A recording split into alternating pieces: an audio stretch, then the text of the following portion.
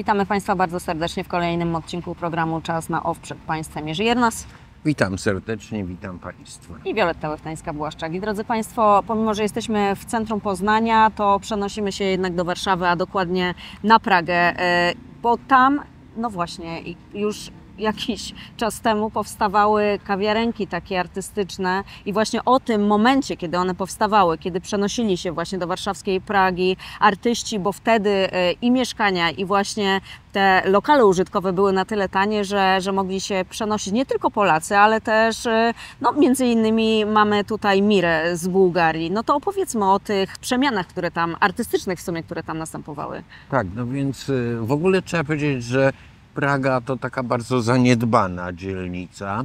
Do niedawna była, w tej chwili oczywiście już jest znacznie lepiej. I mm, e, tak jak wspomniałaś, tam były tanie mieszkania i tam wielu artystów, i to z różnych e, krajów świata, e, przyjechało i zaczęło tworzyć taką, taki mikrokosmos.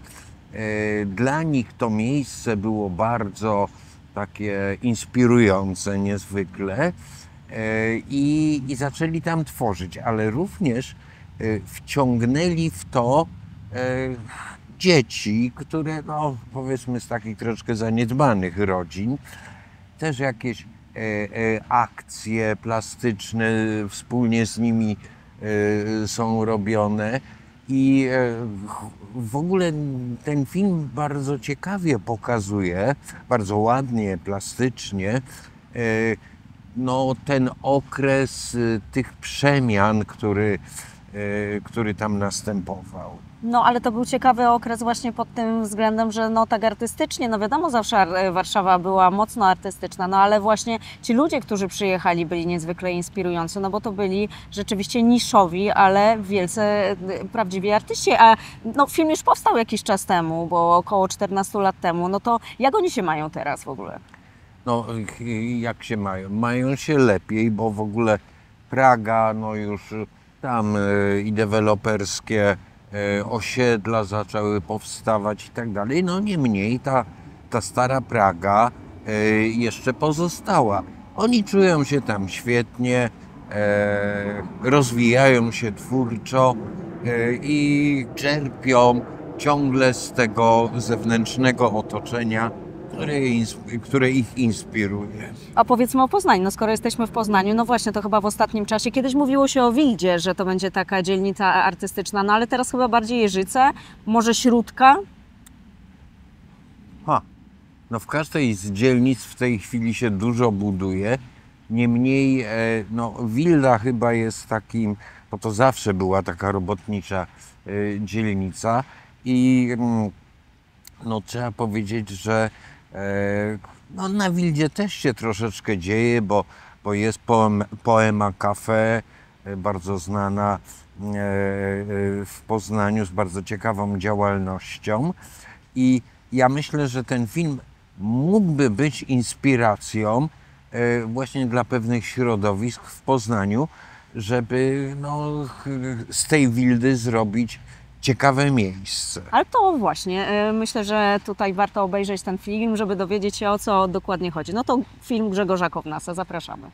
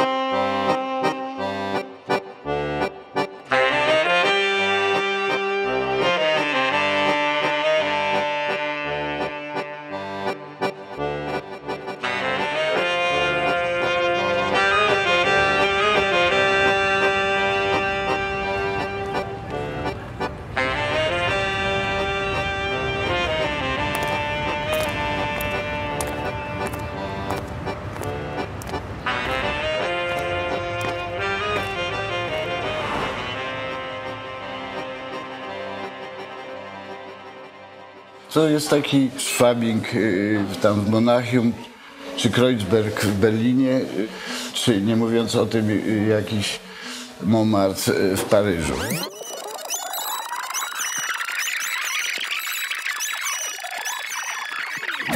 Urodziłem się w 1947 roku e, na ulicy Narbuta w Warszawie. E, Urodziłem się w naszym mieszkaniu, ponieważ moja babcia była akuszerką.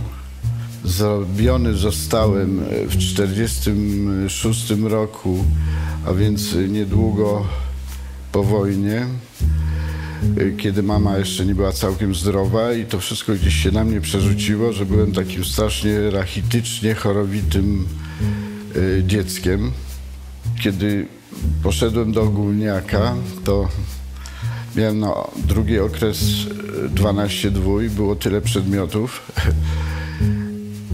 I wtedy jak gdyby po, powstała y, ta decyzja, że będę artystą.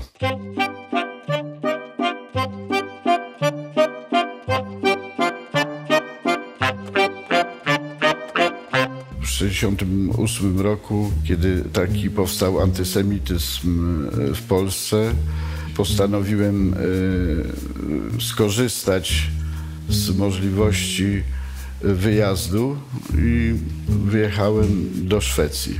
I to był taki moment po prostu zwykłego fizycznego strachu. Było najłatwiej do Danii, do Szwecji na początku y, w ogóle wyjechać. Na początku Duńczycy, a potem Szwedzi y, powiedzieli, że oni mogą Żydów z Polski po prostu przyjąć.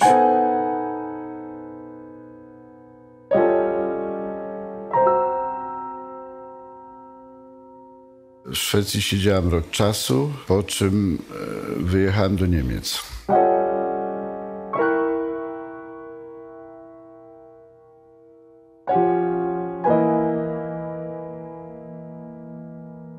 W Niemczech byłem około 30 lat i mm, któregoś dnia e, pojechałem o- odwiedzić moją znajomą pod Poznaniem. Z czasem coraz rzadziej jeździłem już do Niemiec. Y, Zacząłem robić y, tutaj, y, realizować te mozaiki. To było w, roku no, 9 lat temu, czyli gdzieś w roku dwu- 2000. Po kilku latach już po, po, pobytu w Warszawie, wtedy wynająłem pracownię na Pradze, na Inżynierskiej 3 i mm, tak się zaczęła miłość do tej Pragi, gdzie spotykałem jeszcze jakichś takich normalnych, y, fajnych warszawiaków, z którymi normalnie było, można było porozmawiać.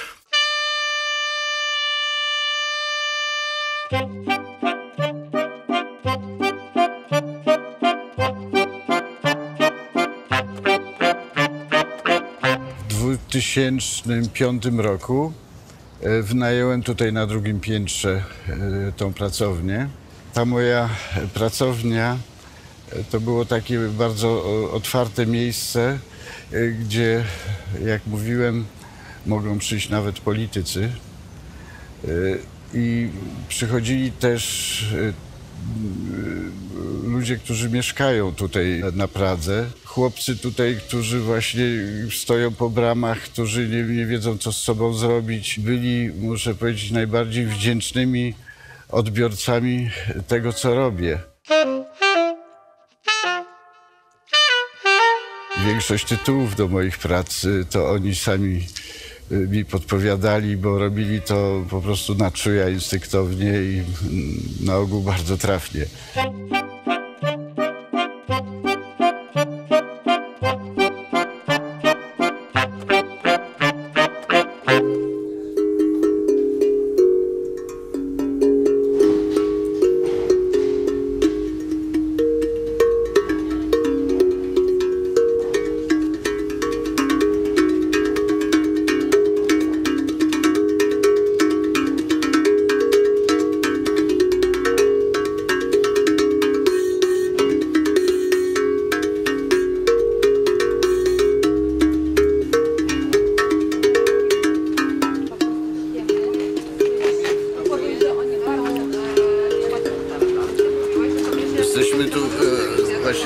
butelek i widzę mojego przyjaciela Wojtka.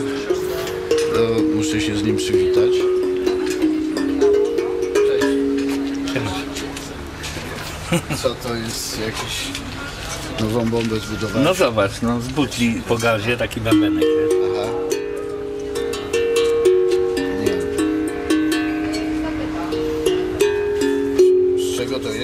Drum się nazywa, co? Butla po gazie. Można No. stuknąć? Tak.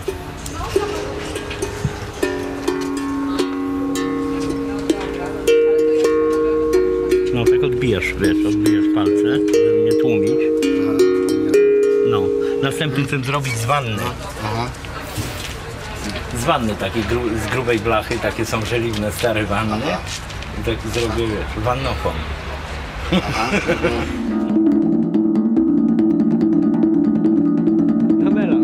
Kamerady.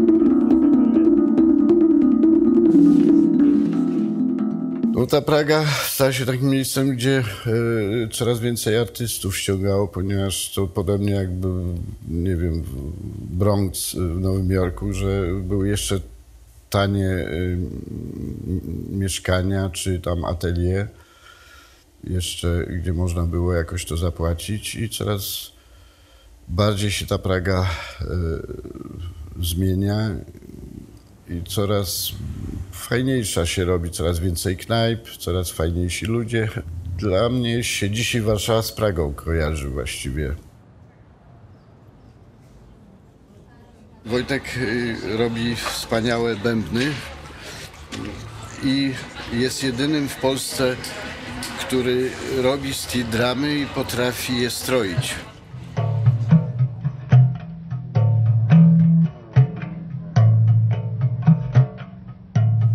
No w życiu i- bym nie powiedział, i- na to patrzę, że to może taki niesamowity... Tak, tak. Ja sobie eksperymentuję nie- no. na takim, y, i, y, robiąc taki y, y, tank drum, y, y, wiesz co chcę teraz zrobić? Rzeźbę grającą ze stali, z różnego typu złom, ze złomu, z odpowiedniej grubości, wiesz, y, płyt stalowych. Y, I, I dokładnie robiąc ten bęben, y, wpadł mi pomysł, żeby syrenkę zrobić warszawską. Zbudowaną korpus, wiesz, z wanny, starej wanny, wiesz, Aha, korpus aha, postaci tak, tak, ze tak. starej żeliwnej wanny, wystrojony też nacinaniem, grająca rzeźba, grająca syrena. I wiesz, to to będą piersi, dwa takie Ja bębny, też to będą piersi. pomysł ostatnio z Syreną. No widzisz. Tylko wiesz, I- że ja tymi moimi nalepkami. No, a ja znowu chcę- zrobić grającą rzeźbę ze stali. Taką solidną, żeby tego nikt nie mógł zniszczyć. Żeby to lata całe było i ludzie mogą podchodzić i grać na tej, na tej rzeźbie.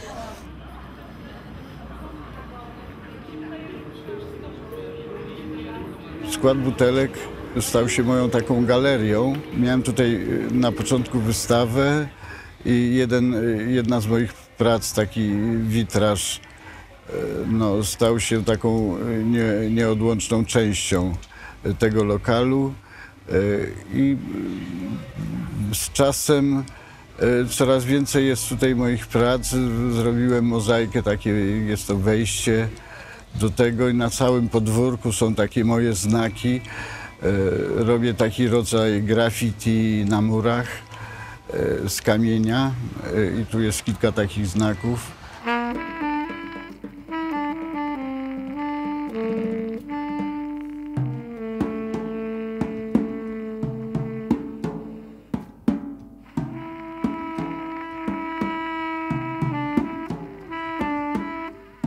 Tutaj jest e, jeden z, z moich obrazków e, z serii obrazów, które zrobiłem z nalepek do agencji towarzyskich, które zbierałem od lat.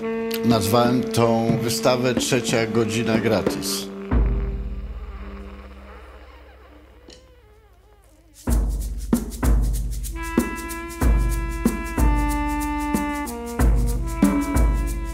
Czasami takie się zdarzają dosyć śmieszne sceny, jak na przykład y, siedzą tutaj dwie dziewczyny przez dwie godziny i nagle któraś mówi, o zobacz, zobacz, zobacz co to jest. Zauważają, z czego to jest y, zrobione. To jest taki, no można powiedzieć, taki potwór, który zjada te dziewczyny.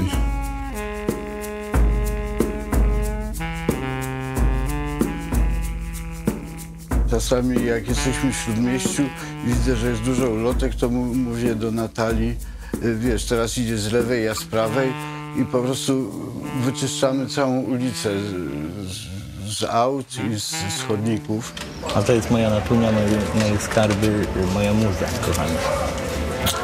To jest Wojtek, to jest moje kochanie, kochanie którego, przez którego, dzięki któremu, dla którego poznałam ten świat.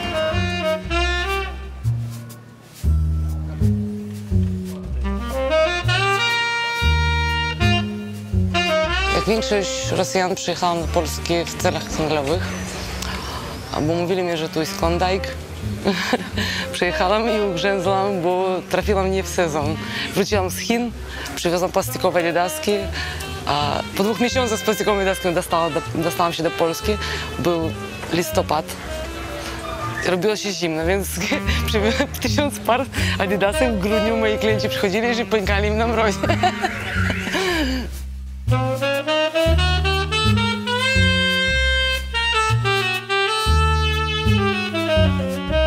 Praga sam w sobie po prostu jest super.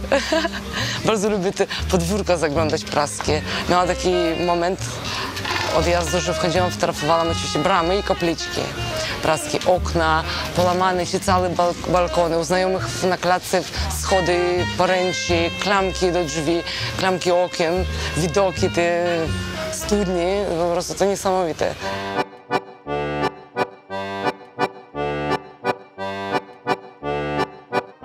Pierwszy tatuaż sobie zrobiłam ten, bo długo zastanawiałam się nad wzorem i znalazłam ten wzór w maoryskich e, rysunkach naskalnych, taki z, pias- z piaskowca rzeźba maoryska.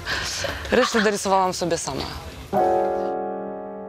Na Pradze też bardzo e, dużo ludzi też się znalazło e, z innych krajów. Moja żona pochodzi z Ukrainy. Wyjechałam między innymi tak, że wiedziałam, że moja matka mnie nie puści, będzie plakała. To więc, kiedy mama wyszła do pracy, ja zebrałam swoje rzeczy, napisałam kartkę mama, pojechałam do Polski, jak się ustatkuje, to p- zadzwonię. I przyjechałam właśnie w 97 roku tutaj i tutaj zostałam w sumie.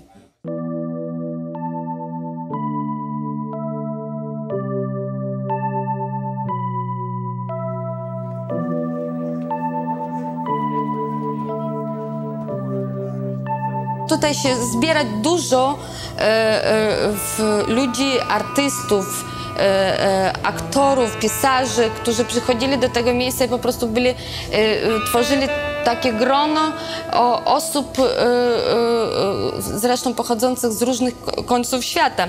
Rosjanie, Białorusini, Francuzi, Włosi, Żydzi, Żmudini. Tutaj nikt po prostu nie mógł powiedzieć, że jesteś murzyn, e, nie mogę z tobą siedzieć. Czegoś takiego nie było. Po prostu wszyscy siebie akceptowali, była pełna tole- tolerancja i akceptacja. Nie zwracał uwagi nie na narodowość człowieka, nie na to, kim był, głównie w tym momencie to, jakim go poznasz i co on z siebie przedstawia jako człowiek. I to mi się bardzo spodobało. Jak trafiłam o, takie miejsca, na przykład jak Jacek Andrzejewski z Natalią poznałam, to po prostu doznałam małego pozytywnego i super szoku, że kurczę, tak, tego szukałam i dlatego przez wiele lat turałam się tak wszędzie sobie, e, będąc najczęściej sama.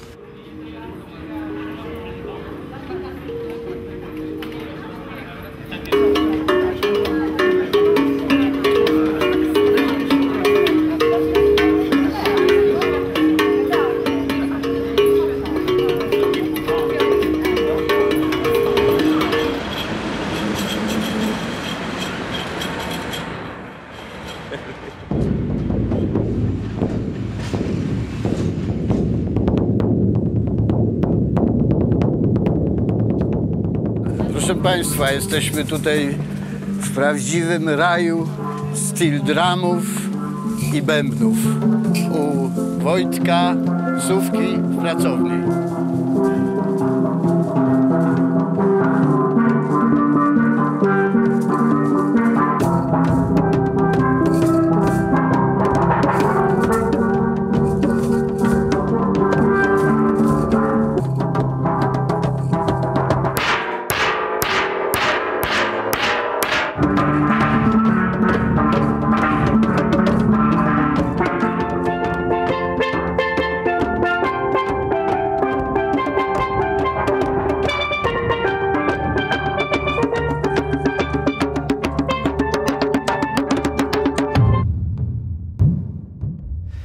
To są y, cztery do kompletu y, steel dramy y, z beczek zrobione po oleju i powieszone w takich statywach, żeby wygodnie można było grać. Z dna beczki za pomocą młotka wyklepuję misę.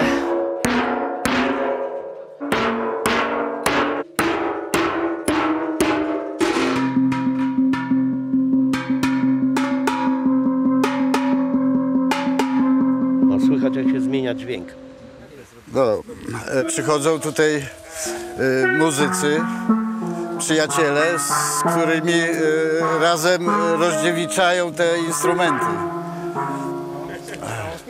Tu jest e, pan Dawid.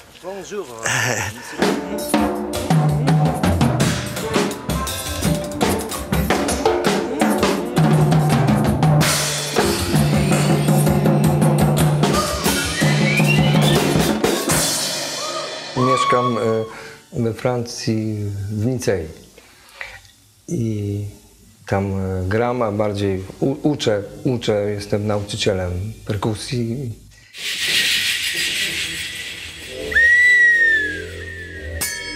Z Wojtkiem e, mamy grupę, która się nazywa mm, Drums and Trance. No i, i próbujemy zrobić taką muzykę etniczną, elektroniczną, e, akustyczną, futurystyczną.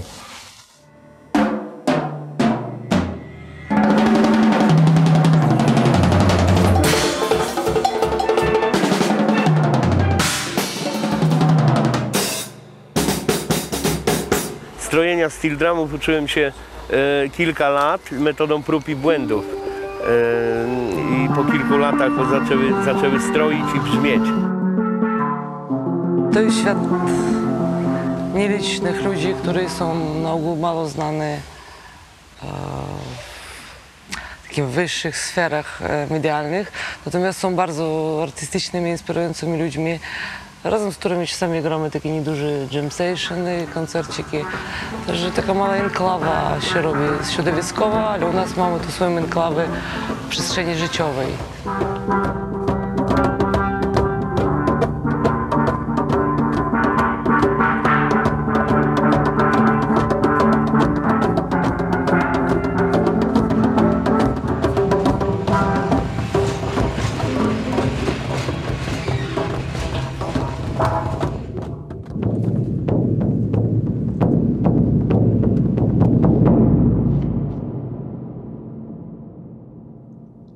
Mm-hmm.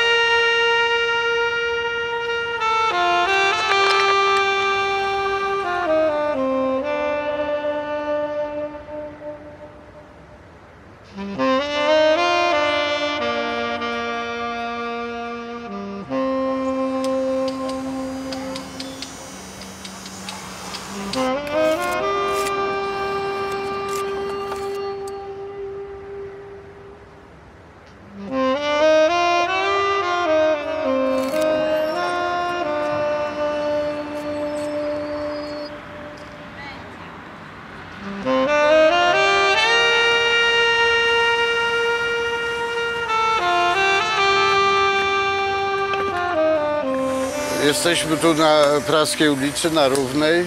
Chłopcy sami wybrali sobie to miejsce i robimy tutaj mozaiki.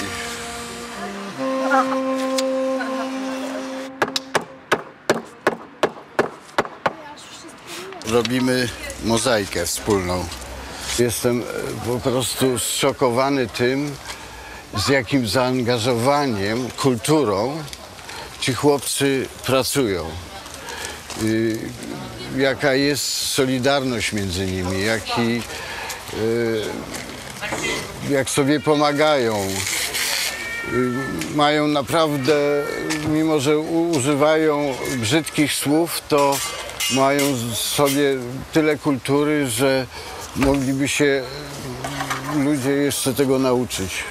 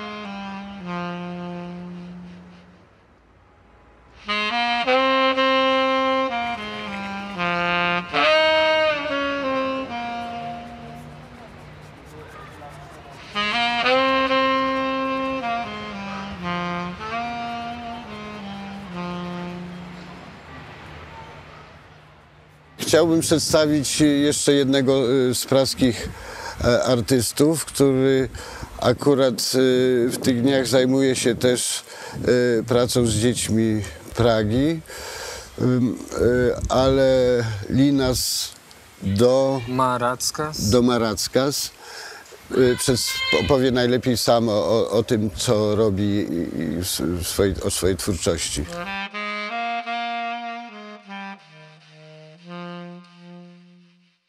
Mieszkam na Pradze od wielu lat, bodajże od siedmiu.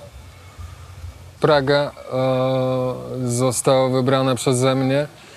O, myślę, tak dzisiaj myślę, że z powodów takich sentymentalnych bardziej. E, Dworzec Wileński, ulica Kowęcka, ulica Wileńska, Białystocka. To są moje strony, skąd ja pochodzę. No i architektura przede wszystkim. To jest niezły kawałek, kawał starego miasta. No i tutaj po, po działem trochę próbuję przenieść tych swoich prac na zewnątrz, e, na ulicę. Właśnie ta cała współpraca z dziećmi. Pracuję ze Stowarzyszeniem Teatralnym Remus. Z nimi tutaj realizujemy ten cały, cały projekt e, przy ulicy Stalowej i te murale, które pomagali robić dzieci i teraz przygotowujemy całą alejkę.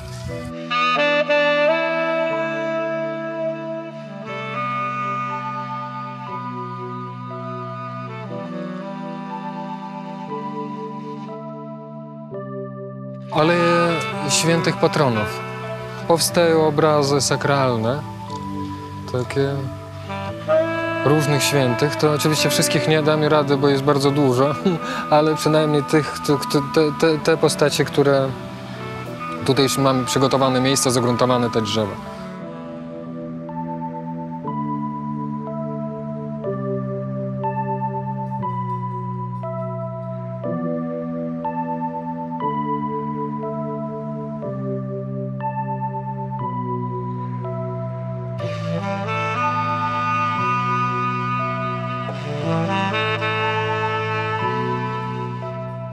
To jest farba czysta, nietoksyczna, która e, zabezpiecza właśnie te miejsca bez kory drzew od gnicia, od robactwa. To drzewo nie próchnieje, tylko ma szansę zarosnąć korą. E, te obrazy wcześniej czy później, o ile nie będą zniszczone przez ludzi, będą po prostu schowane pod korą.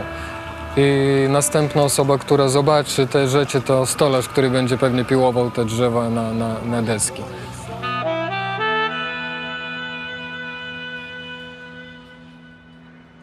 Tu zrobiłam ikonę, która jest stylizowana na, na Ostrobramską i w piątek.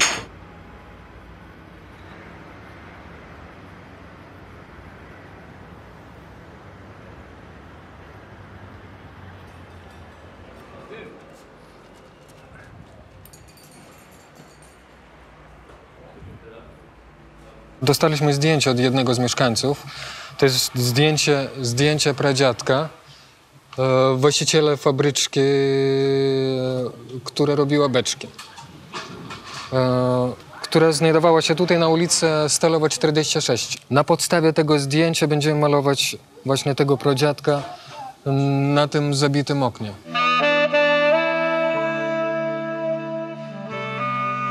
Tu kiedyś stała kamienica, może od tego zaczniemy. Yy, I jak widać, tu zostały właśnie fragmenty mieszkań, czyli ściany, po jednej ścianie mieszkań. Klatka schodowa, yy, kuchnie, tam łazienka prawdopodobnie, coś takiego.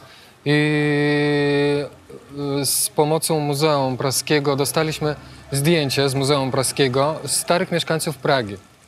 I pomysł był taki właśnie, to ten projekt z Teatrem Remus, który wykonujemy tutaj, e, pomysł taki, że dzieci na kolorowo malują te wnętrze mieszkań, czyli krzesła, wykładziny, dywany, e, wazony, kwiaty, wszystko, co jest w kolorze, a ja będę wchodził właśnie z tymi portretami już e, mieszkańców z początku wieku praskich na czarno-białe, żeby oddzielić czasowo w ogóle. Ta sama przestrzeń, inny czas.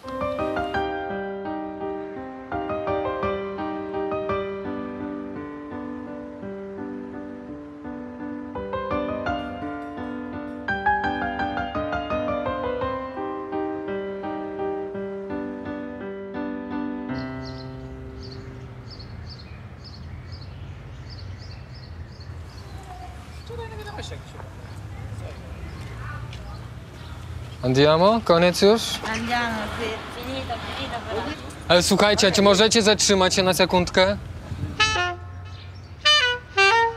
Jestem e, z Rzymu i, i no po prostu byłam pierwszy raz tutaj w Warszawie, mm, też mm, bo były warsztaty tutaj teatralne i bardzo podobało mi się tutaj i jak teatr jest tutaj i tak dalej. I, i teraz pracu, e, pracuję tutaj, mieszkam tutaj na Stalowym i świetnie jest. Żyrafa tym głównie żyje, że wyciąga w górę szyję, a ja zazdroszczę żyrafie, no bo ja nie potrafię. Ale tutaj Patrycji cały czas odpada ogon. No wiem, musimy robić coś innego, wiesz? Ale nie jestem pewna. No malujemy. Jest... No, dzisiaj widziałam, jest bardzo łatwe, bo oni są taki... interessati. Perché chiedo al tuo aiuto per la traduzione, interessati. Perché i bambini qua sono molto curiosi e interessati.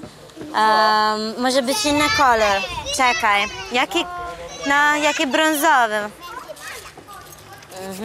Spokojnie mogę stwierdzić, że dzieciaki, którzy mieszkają tutaj na Pradze, manualnie są niesamowicie zdolni. Im tylko potrzebna, potrzebne jakieś tam po prostu Dyscypliny trochę. odrobinkę kontroli, dyscypliny, prowadzić kontroli. kontroli i pomocy. Czyli tak. e, kupić te farbki, dać miejsce, gdzie oni mogą pomalować, a pomalują po prostu genialnie, tak jak e, na tej stolowej 50, e, co malowali na ścianie wnętrze mieszkań w ogóle.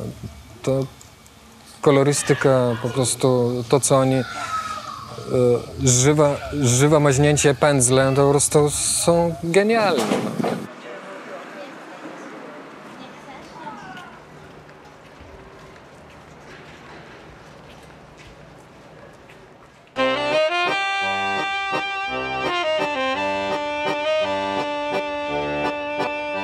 No na, nabroiłam tam trochę. Trzeba było się ukrywać, to przyjechałam do Polski.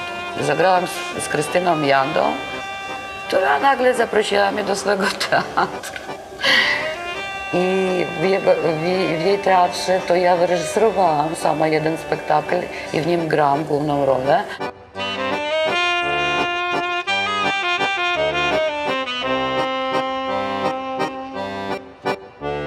W Moskwie każdy przejście z teatru do domu, warto mi było dwóch siwych włosów w głowie.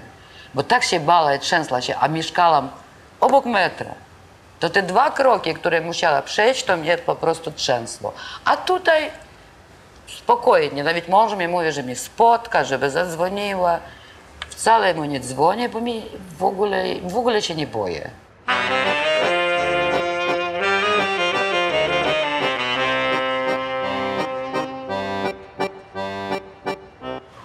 Kim ja jestem?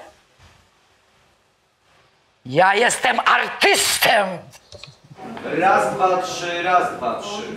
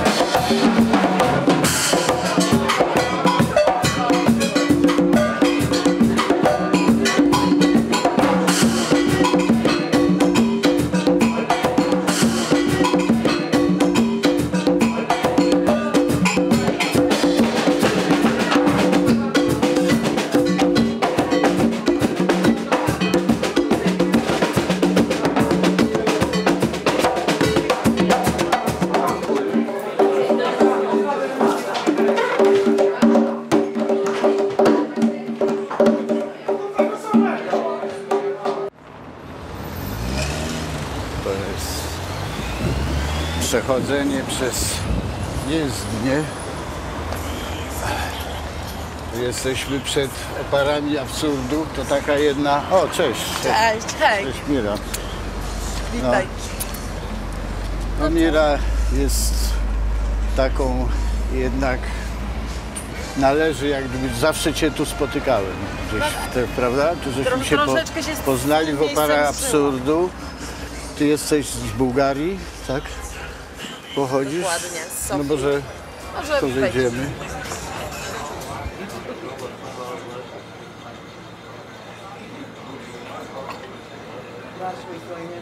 Do Polski trafiłam, bo przyjechałam na studia. Mój ojciec jest e, Polakiem, moja mama jest Bułgarką i jakoś tak stwierdziłam, że wrócę do korzeni ojca i, i, i tym sposobem przyjechałam do Polski. Zupełnie przypadkiem do Warszawy. Ja byłam tutaj jako stypendystka rządu, dostawałam jakieś tam pieniądze. Wyjeżdżając tutaj byłam przekonana, że wystarczy mi tych pieniędzy na to, żeby się utrzymać, ale jednak okazało się, że zupełnie nie i że trzeba było coś ze sobą zrobić.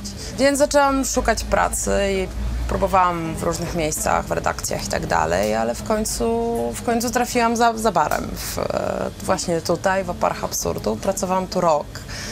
E, Był to świetny rok, było cudownie. Poznałam strasznie dużo ludzi, strasznie polubiłam Pragę. Było to miejsce, które zrzeszało bardzo dużo ciekawych ludzi, dużo obcokrajowców.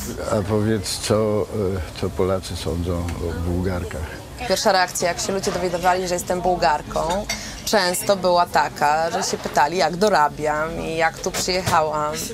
Albo jakiś komentarz na temat tego, że a nie wyglądam jak te Bułgarki na, e, przy szosie, czy coś takiego.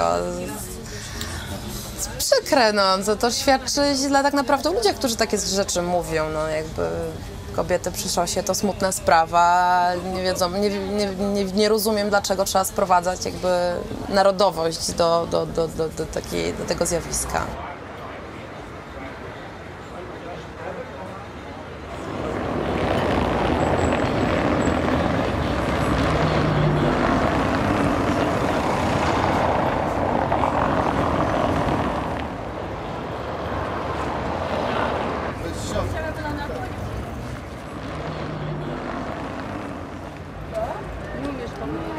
Teraz idę do takiego lokalu, gdzie rzadko bywałem. Nazywa się Krzywe Zwierciadło. Trochę atmosfera jak gdyby na Montmartre. Chyba nie przesadzam. Y, O, i oczywiście ktoś znajomy. Cześć. Cześć. Ninoczka. Cześć. Fajnie, fajnie. O, co, co tam słychać? Co słychać, a dlaczego nosisz dwie pary okularów? Dlaczego? Ale to właśnie wszyscy pytają. No bo jedno są e, na sło, słoneczne, jak widzisz, a Mhm. drugie są optyczne. I to jest jedyny sposób, że ich nie gubię, odkąd tak noszę.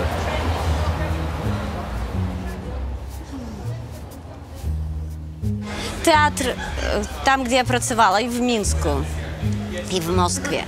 I te wszystkie moje pięć lat, i na 4,5 roku raz w Rosji. Teatr tak mnie zniszczył tam. Aktor, aktorki byli po prostu tak straszne. Mnie dawali te główne role. Ja mówiła, że nie chcę grać już głównych, bo ja po prostu e, muszę dobrze odżywiać. A ja mdlała, padała w obmorok. I вообще ja do teatru zaczęła mieć wstręt i wróciła do Polski. Ja gram teraz Zbrodniakara z takim aktorem Boris, który e, niedawno wynajął tu mieszkanie, prawda? A mieszkał na tej stronie i tak dalej. Powiedział, Ninka, ja nie znoszę tej Pragi. Mnie to wszystko brzydzi. Te zapachy w tym Carrefourze, te twarzy, te takie wszystko jakby zaniedbane. A ja сказала, ale ja nie rozumiem, dlaczego ty to lubisz? Ja говорю, bo ja w tym czuję prawdę. А правда, она не ма цукерковых этих фолий. Можно самый недобрый цукерок в такую пенькную фолию, и ты его купишь, а позднее не хочешь съесть. А Прага попросту люди, я не знаю, я, так, я не jestem так, как бы, чтобы до конца знала. Но мне выдается, вот как они и с нею, bez tych cukierkowych takich różnych obiertków, tak oni są, prawda? I dlatego ta prawda mnie kupiła i ja przy kupowaniu innego z mężem mieszkania na Białozę, to my znowuż na tej Pragu paru metrów dalej, to jest ulica dalej. Została tu, została i mnie tak wydaje, że to jest najlepsze miejsce. Tam, gdzie Kawieńczyńska i dalej tam taki park, Już zupełnie taka, pra- zupełnie jakby Praga nie, nieznana i może być wieczorem strasznie. Ale mnie tam najwięcej podoba, bo tam ja znajduję jak Dostojewski. Coś takiego, że myślę o tym, co ja będę pisała, co ja dalej, jak ja będę grała dalej rolę. Ja z siebie tam z- собираю. Я не люблю knajpy, или как сказать. Я могу пойти, але мне завжди халас да нервує. І в Беларуси и в Ялте и в Шенде. Я шукаю місце только, чтобы иметь, как говорят по-русски, разговаривать с богами.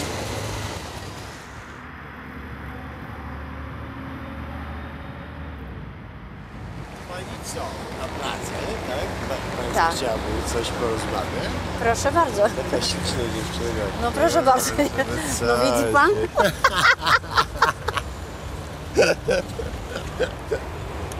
Widzi pan z Pragi i ja zupełnie... Ja... Nie, ale ja muszę... Nie, Nie, to nie, nie, przepraszam bardzo. No, no, co? No, co Nie, pan jest stało? artystą chyba, nie? Eee,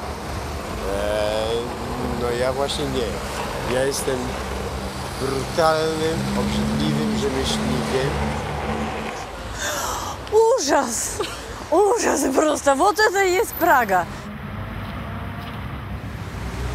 Teraz to twarze zmienili i ludzie są inne. 12 lat, 11 lat temu, tak? To tak nie było. Twarze od razu stali w bramie, czerwone od 7 rano. I ja, ja czuła strasznie. Ja tak strasznie się czuła, że Czasami chciała wyjść z balkona, czekając na syna, kiedy wróci z Krasińskiego z wiolonczelą, że chciała z tego balkonu wyjść po prostu na ulicę. Co ja szukała w tej Warszawie? I ja zrozumiała, że, że popełniła koszmarny błąd. Ale mnie nikt do tego nie zmuszał. Ja sama podjęła taką decyzję, że chciała. Zawsze słuchała какой-то iść, iść, gdzieś zmieniać, zmieniać. Zmieniła i co? I że ja zaakceptowała tą Pragę i Praga zaczęła przy mnie odradzać się. Ona razem ze mną zaczęła iść zupełnie tak samo, как это, возрождаться. Ренессанс. Праги – это ренессанс.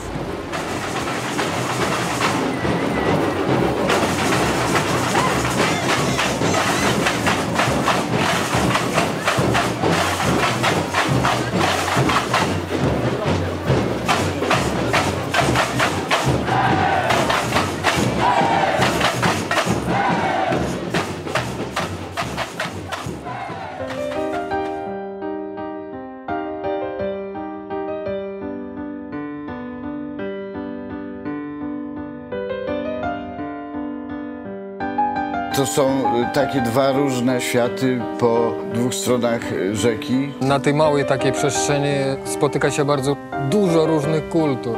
Tu jest drugi świat, y, gdzie jest dużo artystów. Byli to ludzie zewsząd, po prostu wszyscy nagle spotykaliśmy się tutaj, odnaleźli, odnaleźliśmy się właśnie tutaj, nie gdzieś indziej. To właśnie w tym miejscu, na tej Pradze, niby niebezpiecznej. Тут я могу выйти, сделать, что хочу, и nikt na mnie takowo nie zwraca uwagi. Tutaj jest świat takiej dużej rodziny, która się trzyma razem pomimo wszystkich tych kłopotów. Tu akurat możesz być wszystkim i będziesz zaakceptowany.